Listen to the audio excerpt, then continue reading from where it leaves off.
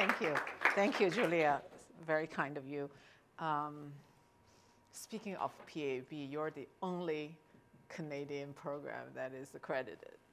so I'm actually really thrilled to be here, uh, also for that reason, and because uh, um, it's just really nice to be at UBC. I've been to um, Vancouver, but never campuses. It's nice to be here, and thank you for coming.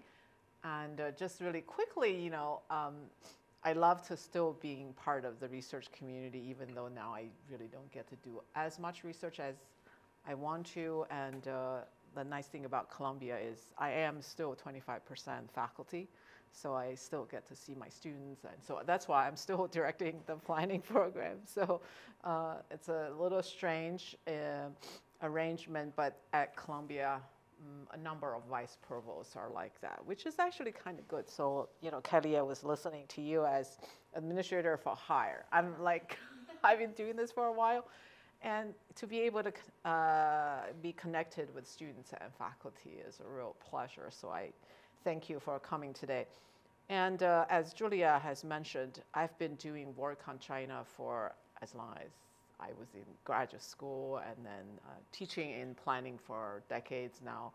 Um, have done some work elsewhere, but my anchor had always been in China. I use had because in the recent years it's been much more challenging to do uh, field research in a way that I used to do. I am very much trained as um, social scientist in a way. You know, uh, James would know I studied at Rutgers with uh, Susan and Ann Markusen and Hu Xian and uh, Chester Rapkin. So we were very much uh, trained to be like a little bit like sociologists, right? And, uh, and we really go out to the field and talk to people, do large scale surveys. And I also inherited a little bit uh, in a different stream of research from Ann Markusen uh, by engaging in firm interviews which was actually my dissertation on special economic zones, and subsequently I've done quite a bit research on investment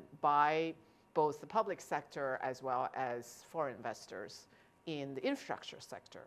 So my work um, has about three different prongs and very much all based uh, on field work and extensive of that in China. So I have not been able to do that in the last four years now, right? Since 2019. And uh, so I may be a little bit out of tune with what's going on in China.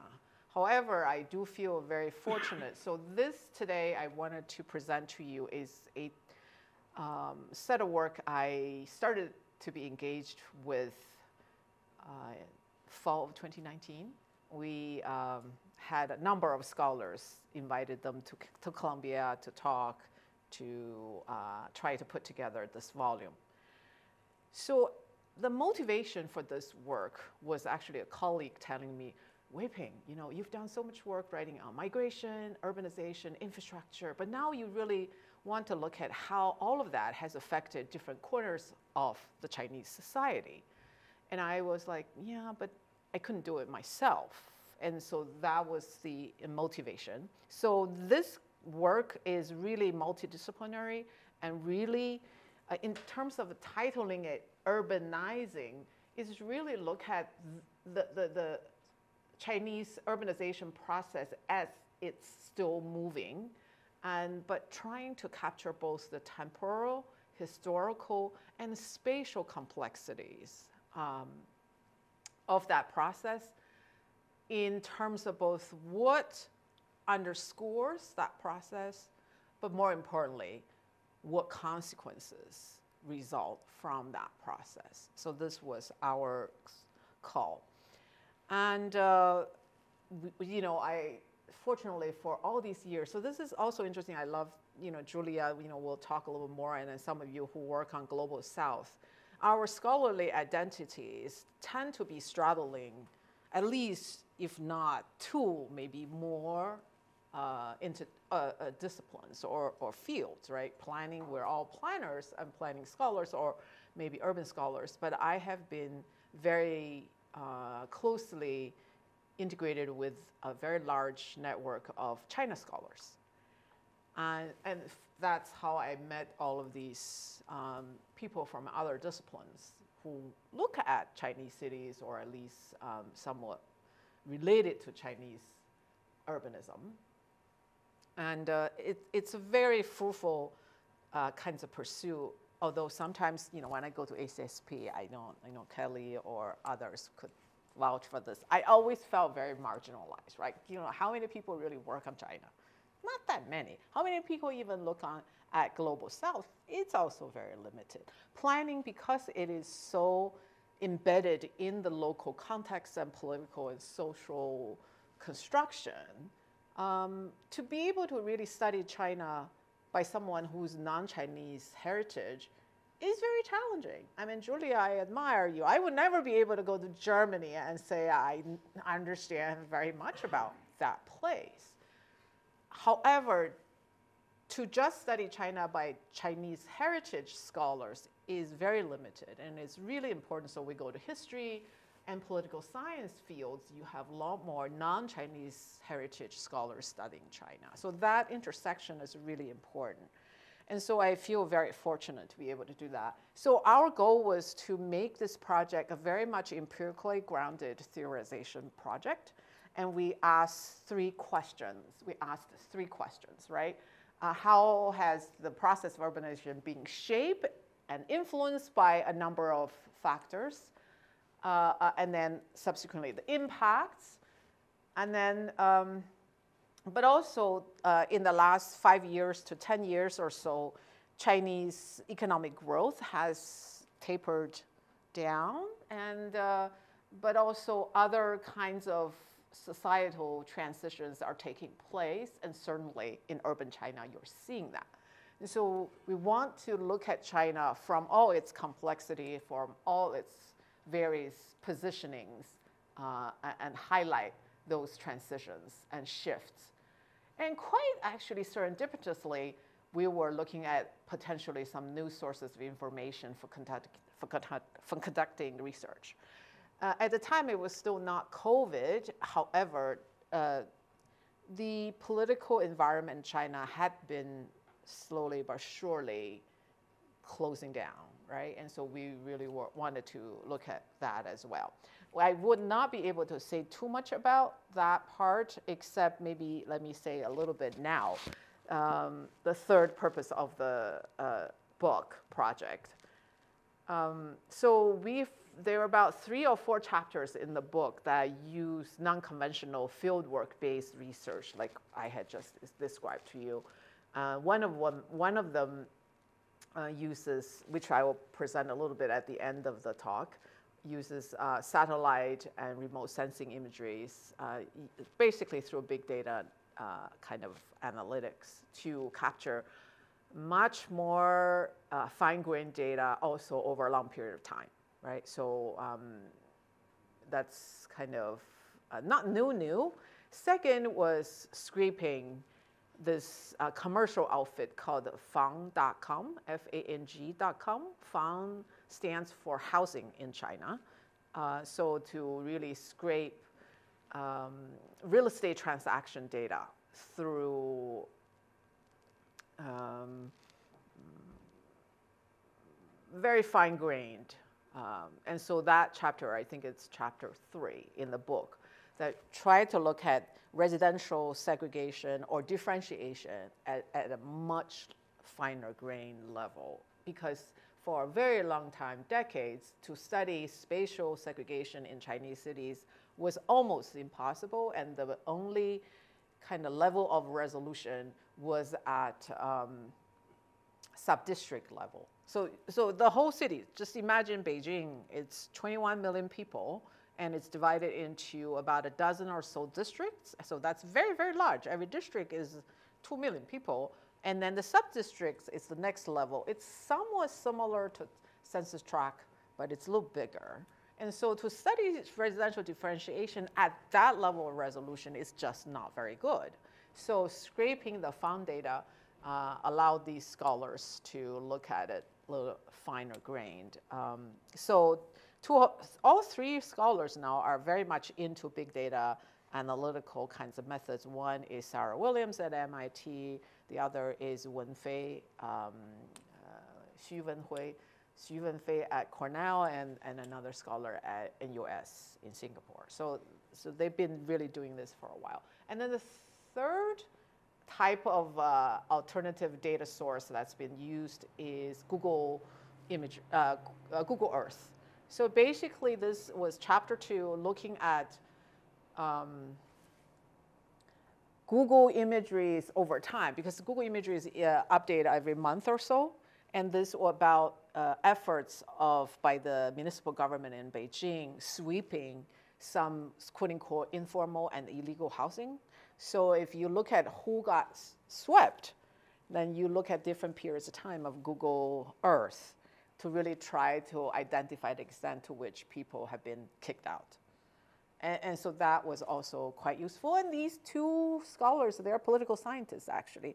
They are not like the big data kind of people, but just looking at imageries allowed them to uh, uh, uncover some information that would not have been possible otherwise. So those, those kind of examples sort of address this question here. So today I really just want to focus, especially since we're all planners here and planning scholars and students, I want to really spend more time on the first aspect, which is the impact of urbanization as related to land and building form, but then also spend a little bit of time on the impact of urbanization on human conditions, particularly in the context of demographic transition. And many of you probably are aware China is quite unique because of its past strict implementation of a government policy called the one child, one family. And so it, it is in this demographic transition much, much faster than most global south countries. You know, I was in India in the summer, it was just completely different, right? And so it, and then so the human conditions and the impact on the human conditions is uh, felt more disproportionately by those who are older. Um, so I want to also talk a little bit about, about some of the transitions. So the reason we call it empirically grounded theorization is for many years, for many decades, people who work on China always say, okay, China is so different. We shouldn't compare it to anybody. Like, you know, uh, even John Friedmann, you know, beloved John Friedmann wrote his book, China in Transition, I believe, in 2005. Right? It was actually a very well read book, and I actually use it in my course on Chinese urbanism because, again, you're non Chinese heritage, but you look from outside, you actually sometimes see things a little more clearly. And so he, always, he also argued there are indigenous, in fact, he identified a set of four indigenous factors that were driving Chinese urbanization. Hence, so there is the so-called Chinese exceptionalism, that, that, that we shouldn't be comparing China to anybody else, which is akin to, for many scholars, the quote-unquote American exceptionalism, right? You know, so in a sense. And, and it's also for those of you who work on Global South, it troubles me actually, it concerns me as well that the China also is never really considered part of Global South. And so all of the, you know, especially from geography, you know, uh, theorizing from the south, China is not part of that conversation. So where is China, right? You know, so all of us felt that we need to uh, compel its positioning closer to the more uh, central part of urban and planning research. But it is indeed true that um, when Susan Fainstein and John Logan almost 20 years ago edited this book also on China, they essentially called China a hybrid model that you, who, who, who, who do you compare China to, right? So I will try to do a little bit of that comparison today um, and really try to highlight our attempt to reposition research on China to more of a closer to center place in urban and uh, planning research. But we also wanted to think about ways that we can decenter perspectives that have allowed theories situated in particularly Western contexts uh, to be seen as universal. And so that is provincializing the West.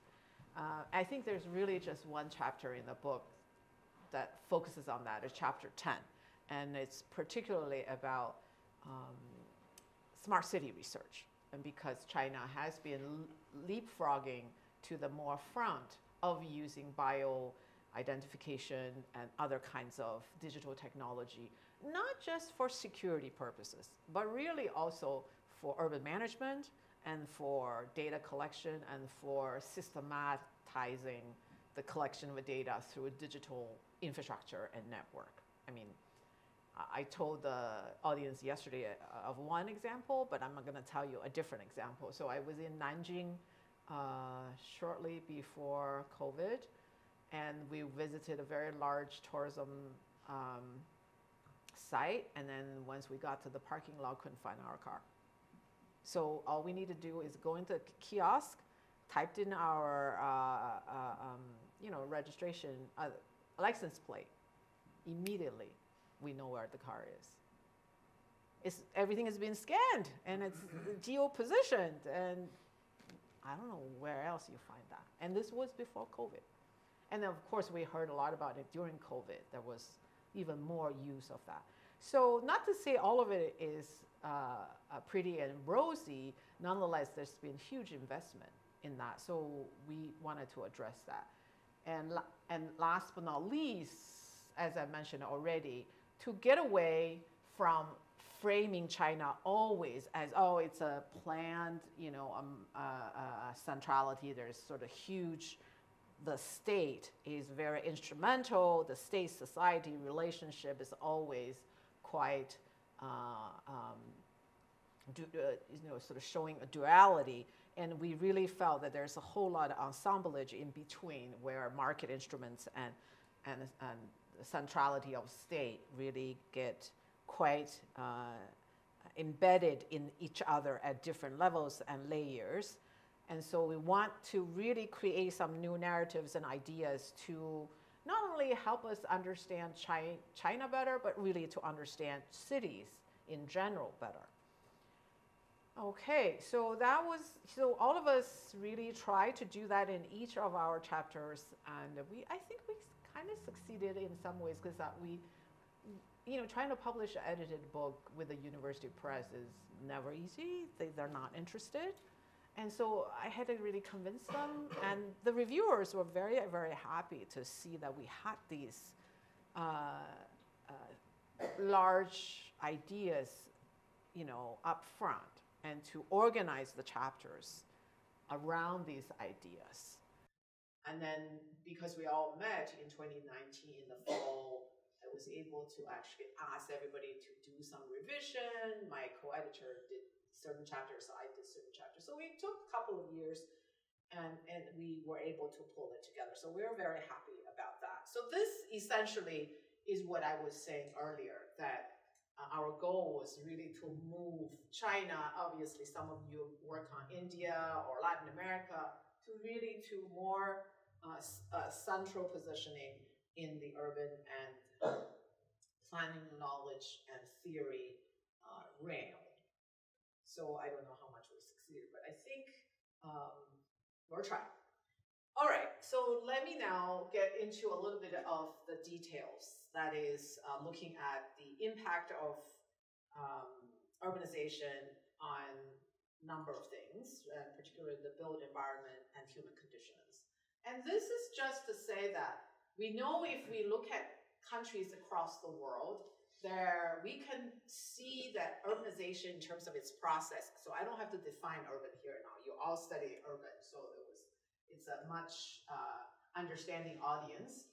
We do know that uh, if you look at the United States, you look at uh, UK, you look at other places, uh, even in other global south places, like Latin America, like Mexico, urbanization essentially would be taking off when industrialization kicks in, right? So uh, US late 1800s, UK late 1700s, uh, let's see Argentina uh, or Mexico a little bit later because because of the uh, the civil war.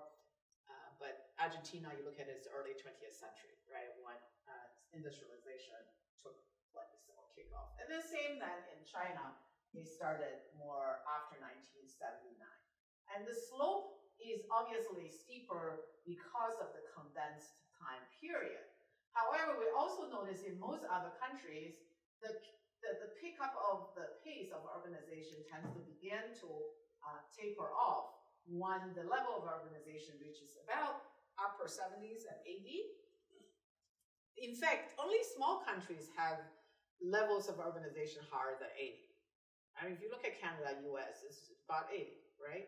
And uh, there are always people who choose to live in rural areas, which is distinguished by uh, the sort of predominance of agricultural activities and then uh, lower density in terms of population.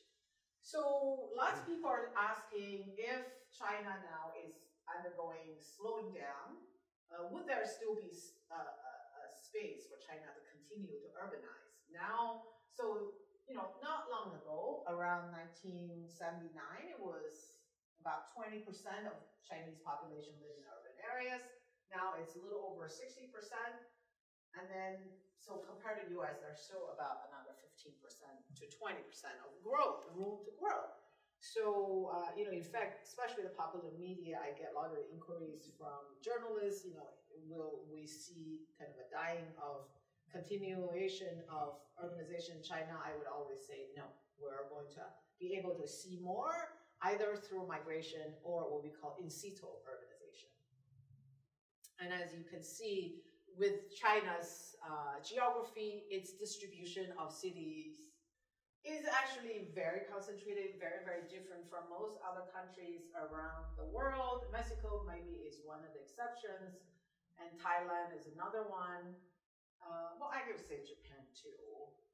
Uh, but what happens is if we draw a line from here to top over there, imaginary line, 40% territory this side, 60% territory over that side, 95% population this side, 5% to the other side.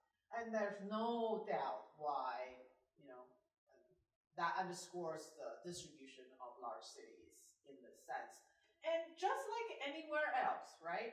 Uh, most large cities historically have arrived uh, on the coast, right? So some of the biggest cities, and then or on rivers, right? So we're seeing uh, Chongqing, uh, Wuhan.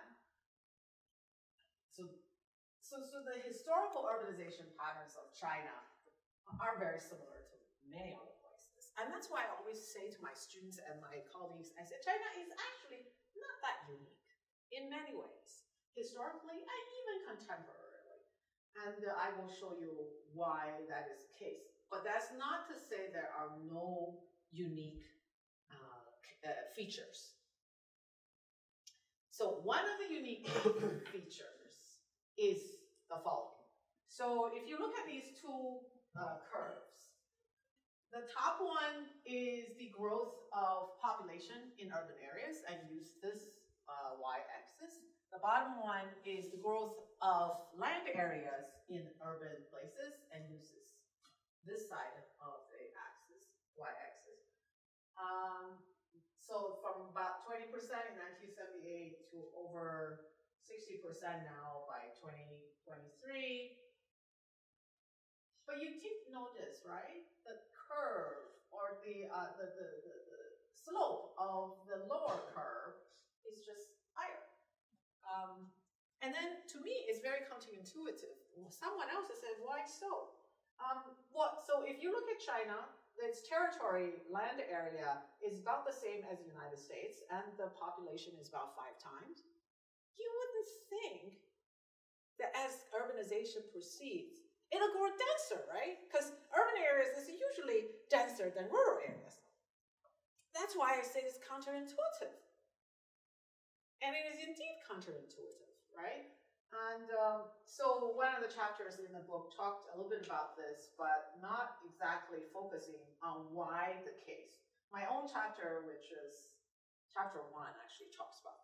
And so I want to spend a little more time on that because uh, it's very much my own work and also very much a planning question and uh, urban question for sure. So just to give you an example of one established city uh, whose name is Nanjing, it's not the biggest, it's also not a smaller one. It's now somewhere around 10 to 12 million in population. It's a capital of a province just north of Shanghai. So it's like, a state capital here in uh, uh, provinces here or a state capital in the United States. And so in 20 years, you can see the physical footprint of the city has increased quite significantly, both in terms of the coverage, but also in terms of the leapfrogging patterns. It's very similar to urban sprawl. It, it really just is very similar to urban sprawl, right? For those of you who kind of have seen, even in Portland, Oregon, it's kind of expanded with the, even with the urban growth boundary. And so it's no exception here. And then going more down to the ground where you are seeing is also the kind of development we see, very autocentric kind of development. It's almost impossible to cross the street, right? Like that. And, and for a place that used to have so many bike lanes and so much sort of pedestrian oriented travel behavior now, it's it, it, very much a, a driving culture in many large cities in China and essentially uh, new types of neighborhoods are rising up like these. And these are called super blocks. Um, they contain anywhere between 10,000 to 16,000 people in one development. And, you know, the, the, the monotony of uh, uh, architectural design makes it very difficult to identify, you know, which building you actually live in. And the reason of this kind of super blocks mushrooming has a lot to do is that uh, what we call the privatization of urban services. So this entire large super block is developed by one developer. So all of the streets in within or the facilities and the amenities are all provided by the developer, not by the city. So in a sense, you have uh, privatized that. And what it also does is to create these bottlenecks in terms of egress and ingress, right? It, you know, exit and, and, entry, and creates quite a bit bottlenecks on uh, street networks uh, in in the cities. And so these are not in downtown places in Chinese cities, often in the close suburbs or even outer suburbs. But you say, well, actually, density is not that bad, right? It's really not that bad. But I will show you a little bit, little bit that you will see density uh, is a little bit uh, uh, sort of deceiving in that sense. Um, the, so this one is actually somewhat closer to really downtown area. As you can see, this is sort of uh, And then in Chinese cities, the central areas, you actually will see FAR, you know, floor area ratio, go up to about five, which is not bad, right? Uh, New York, Manhattan goes up to about eight. You know, uh, sometimes some places over to 15. And you look at Hong Kong, easily eight is very, very common. And then go to central areas can go to 10 to 12. But you don't have to go very far to go down to two in Chinese cities. In fact, it's by planning there's restriction of how high FARs can go in just outside central areas. So that's one reason that drives density down. And there's a huge concern about uh, higher density causing congestion and so on and so forth, which is all well, quote unquote, placed. Um, but uh, I think starting around the first decade of 2000 till now, everyone who focuses on Chinese urban, I guess, development patterns and real estate and so on have been urging Chinese planners about the sort of lower density than they should have been. And in fact, if you compare big cities like Shanghai and Beijing to Seoul or Hong Kong or Tokyo, FARs in Chinese cities are significantly lower. Um, another set of evidence confirms uh, the same pattern. So the World Bank and Asian Development Bank did a survey of some close to 900 cities in East Asia and the Pacific region.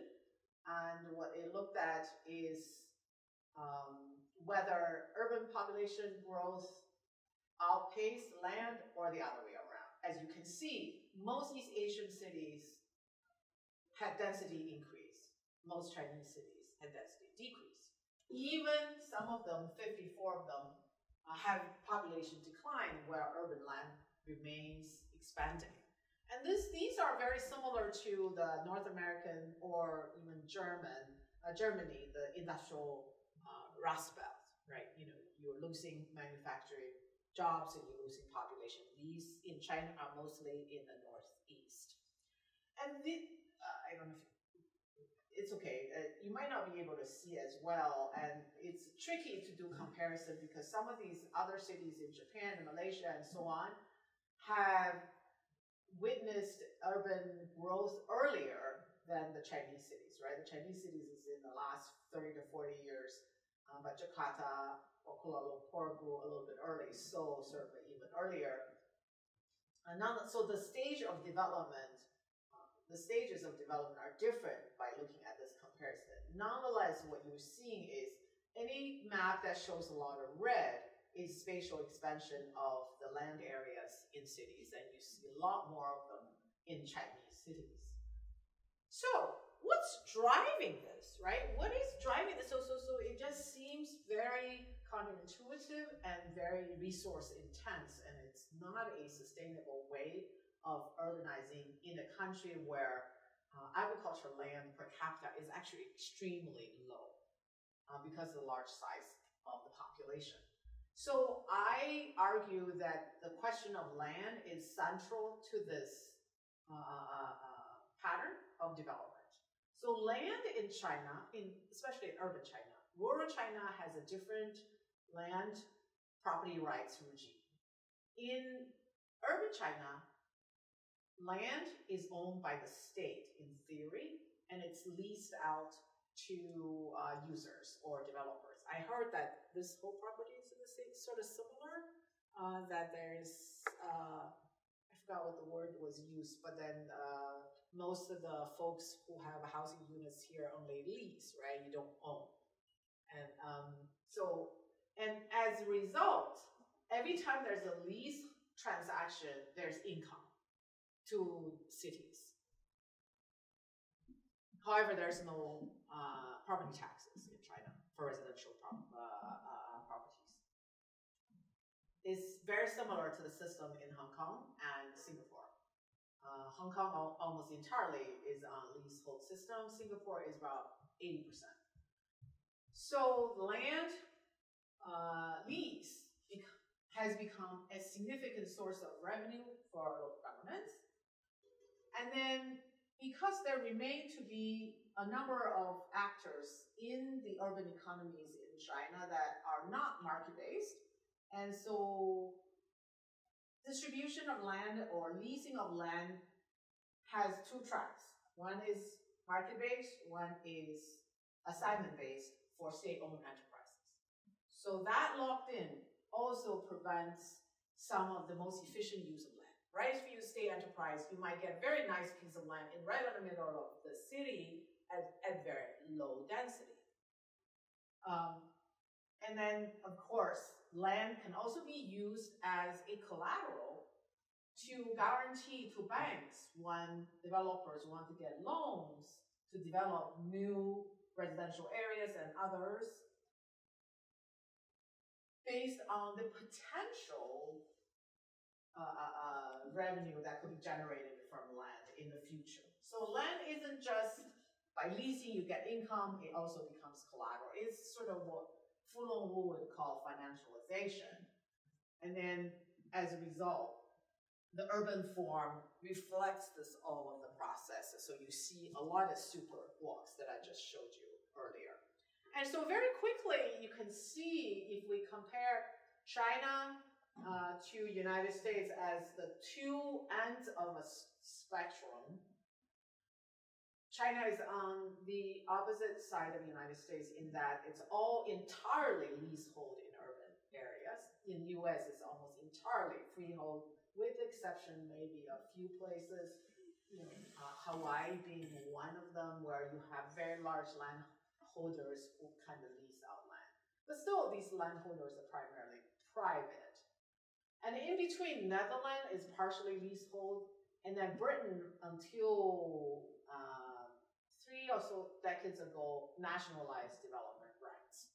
So you might own land privately, but you can't really easily, you couldn't easily develop.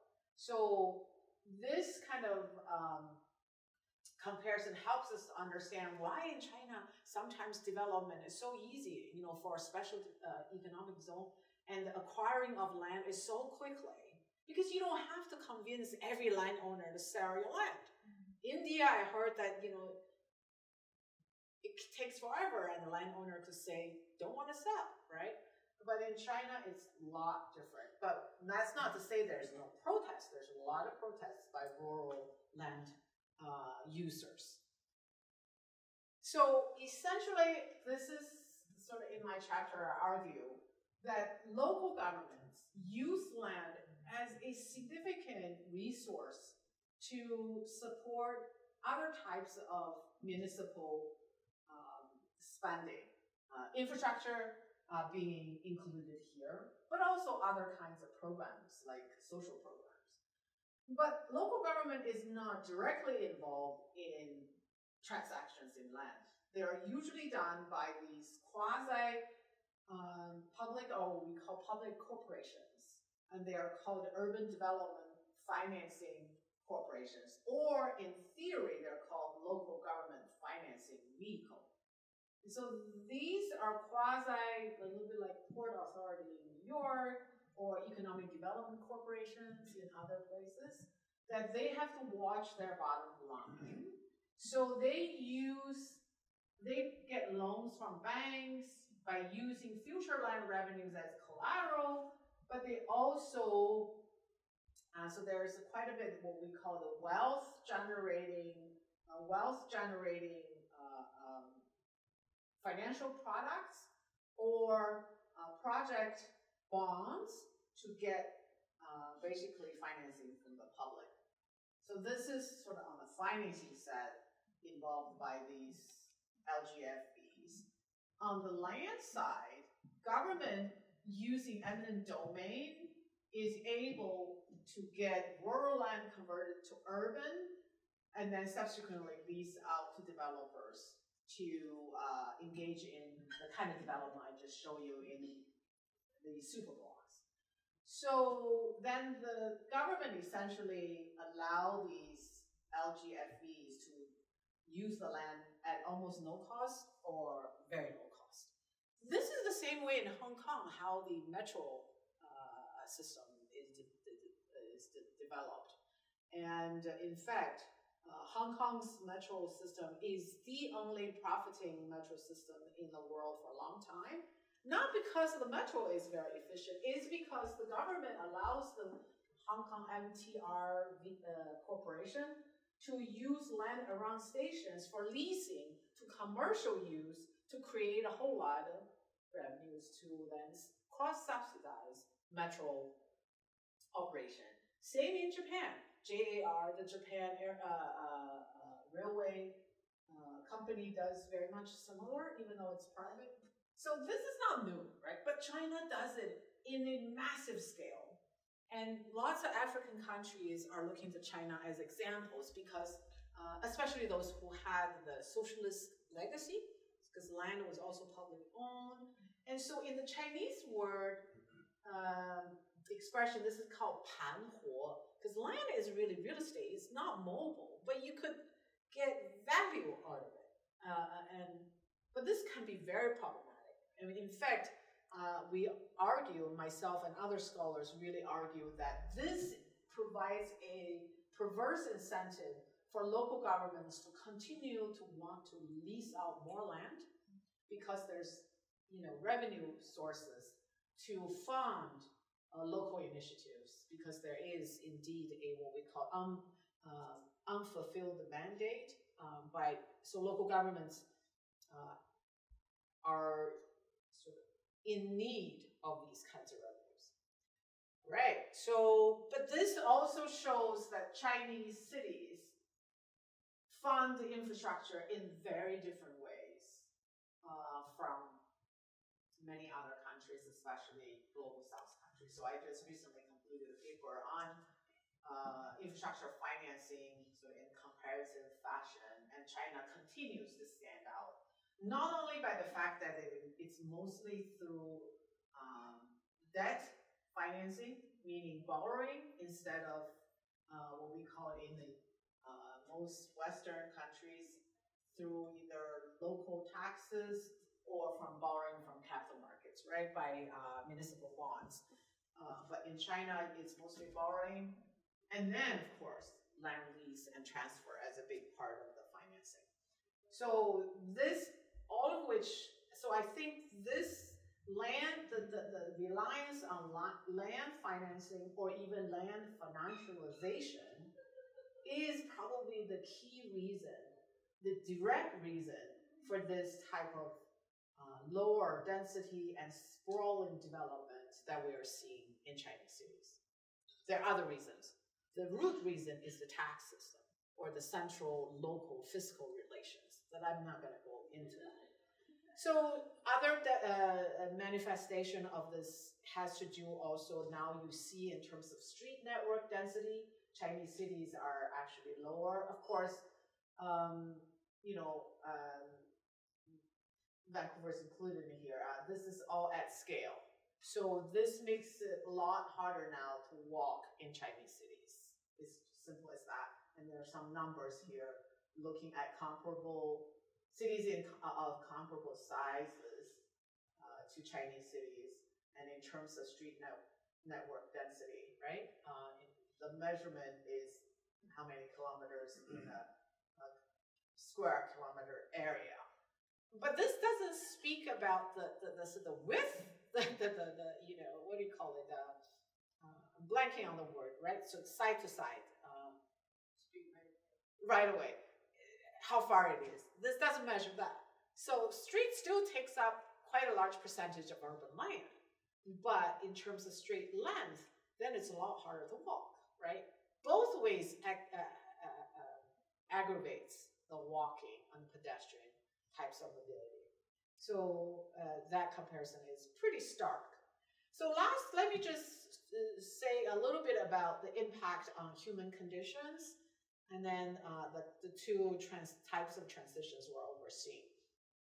And uh, again, I have good data mostly only on two big cities because uh, 2020 census has not been made widely available at a finer grain level. But you can what you can see here is that the percentage of population in the largest cities that are um, migrants have just skyrocketed in the last uh, 30 years. And the migrants were not counted uh, as part of urban population until about 2000, the census. So now in the two largest cities, migrants make up about 40% of the population. The reason for that is the uh, growth of manufacturing industry, the growth of uh, informal sector, not informal in a sense like um, sort of trying to make a living, but rather unregulated kinds of economic uh, activities, uh, you know, street vendoring, domestic help, um, healthcare, uh, aids, and so on and so forth, that have not really worked into more formalized labor market practices. And it's very much sort of individual based. And so one of my colleagues uh, really in this chapter five shows that if we look at all of the populations now that are counted in Chinese cities, overall urbanization has brought out very positive uh, uh, uh, consequence. That is, if we look at absolute poverty, that it has decreased across the board, no matter what standards measurement you use over time. It's just gotten better. People are living a higher uh, level of conditions. However, if you look at uh, relative poverty, no matter what standard and measurement you use, it's shown very much uh, increasing inequality. So then again, Chinese cities are not really that different from other cities. Around early 1980s, Chinese cities and the countryside were probably the most equal in its own history as well as across around the world. But since then, Chinese cities have become more westernized, quote unquote, because we could see from the physical form, yes, also in terms of human conditions as well. That is, uh, the better are getting better off, the worse are getting worse off. And that is uh, a very troubling uh, development. On the other hand, one, yeah, I, don't worry about it. We can't see, I'll explain it. When migrants first started to come to cities, and I did about 15 to 20 years of work on migration and really talked to a lot of migrants in the late 90s and early 2000s, and many of them were very bitter because they were really treated like undocumented immigrants in this country, which I actually did write some about how they are so similar because they had very limited access to urban amenities and types of jobs that are more desirable, all sorts of things. But in recent two decades, uh, these two economists have done some work by using two different types of data, mostly just household uh, income surveys in China.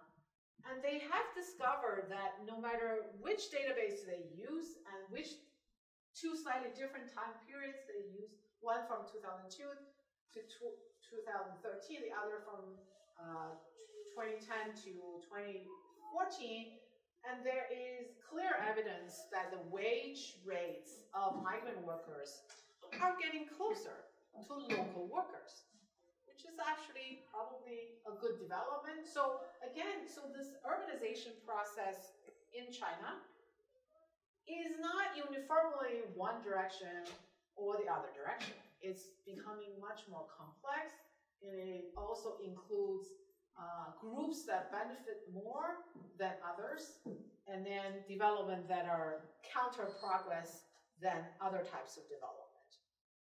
In terms of human condition, last but not least, are those people who are left behind. And so in the early days, when we look at uh, urbanization, we mostly look at return migration, whether migrants who've been to cities have brought some benefits to the countryside. Now there's a new research, especially in the chapter seven by Professor Xu from China, looking at how people who stayed behind were affected by migration and urbanization. And what they're looking at is this particular group, as I mentioned very early on, China is getting older before it really gets richer, and is are the older people, age 60 and above. So what they're looking at are about 150,000 people reported in 2015 that were essentially gone, missing, cannot be found anymore. Um, and what they are really trying to prove is that regions and areas that are sending more migrants out. So what you need to see is here, the outflow regions. The inflow regions are the receiving of migrant regions, and the stagnant is very little, very little mobility. And so they went to 21 counties in these three different regions. The top uh, table just geographical regions, but the uh, bottom one is more useful to show that in terms of migration, net migration, those areas with a lot more outflows are seeing more older people disappearing. And this has a lot to do with rural areas in China have traditionally relied on family care as old age care. And so uh, urbanization has also had this impact on those who are left behind. So last, I want to just spend a few minutes on these two types of transition. And this one uh, is a little bit uh, more complicated by uh, environmental health scholar from Berkeley. And so Justin has really looked at in terms of public health cost. And I'm not going to explain too much of the graph. The main argument he made is that if urbanization is far more uh, chaotic and very fast in pace, the more vulnerable populations and their health conditions and uh, human conditions uh, will reach a comparable level much later than if, so this curve, much later than if it was sort of more equal way of growth and also more coordinated and planned way of urbanization. And you know, we also know urbanization brings improvement in some aspects, right? You build more infrastructure, you treat more sewage, and overall health conditions improve. But on the other hand, air pollution, water pollution increases with industrialization. That brings negative effects. And the poor, the migrants, and sometimes the elderly tend to be the most vulnerable to the negative sides of impact. What he wants to argue even more timely is the effect of climate change. Essentially, with climate change, in an analogy, he argues that some of the progresses made by Chinese cities will be literally eaten away because of climate change, because the cost that is involved in dealing with sea level rise, dealing with flooding, and dealing with exposure by the more marginal and uh, vulnerable groups. So he's arguing that urbanization and development are not necessarily linearly associated with improvement in environmental health and public health, and, and hence um, calling for more research to look at in China how different groups of urban population uh, are uh, affected by this very rapid pace of urbanization. Last is an environmental planner, uh, Pei Fan, who's now at, uh, at uh, Tufts now, um, where I used to be. And she used um, uh, remote sensing imagery, particularly NASA remote sensing imageries and satellite imageries, to really track back all the way to 1997 and then uh, to current decade and large number of cities, about nine of these, to look at how urbanization has brought about different types of pollution at different levels. And so if you look at uh, NO2 here, um, uh, nitrogen oxide, uh, dioxide, Shanghai is bad, right? It's just bad. Um, it's on top, um, but it has fluctuated. But some other cities are not doing that bad. Um, and then if we look at uh, PM 2.5, the you know the suspension of particulate in the air in the afternoon and so on and so forth, Shanghai is not that bad, right? Um, see, um, yeah, it dropped down here, and then to the top uh, is actually Beijing, and we all know Beijing's air uh, is much more representing of a kind of air that LA used to see the smog kind of thing. So her argument is really now Chinese cities are undergoing environmental transition. Some of them, because of high levels of industrialization or motorization, are much more like global north cities with very large environmental footprint and pollution levels, although still differ uh, in terms of different pollutants. Then there are other Chinese cities, things, uh, places like Huhehaote, Lanzhou, or Urumqi, and then are far less industrialized and really are remaining to be more like global south cities with limited environmental footprint and consequences for its surrounding regions. So, so with that, I wanted just to say that our work essentially ha, uh, has kind of given us some insight into this very uh, now differentiated process of urbanization, or what we call urbanizing. And so spatially, in different regions and different areas, and then temporally, different times, that we see these uh, uh, uh differentiating patterns, but also different populations are affected very differently. And so we um, we were uh, quite, um, I guess I would say, happy that we were able to do this and this is actually indeed Wuhan, when we were all kind of after we met and we all were writing our chapters and where we couldn't meet again, and to see like, you know, you still see Chinese cities crowded in terms of how many people on the streets, right? Um, on the other hand, the, the, the more aggregate evidence suggests there is you know, a different pattern of development happening that may be beyond the superficial.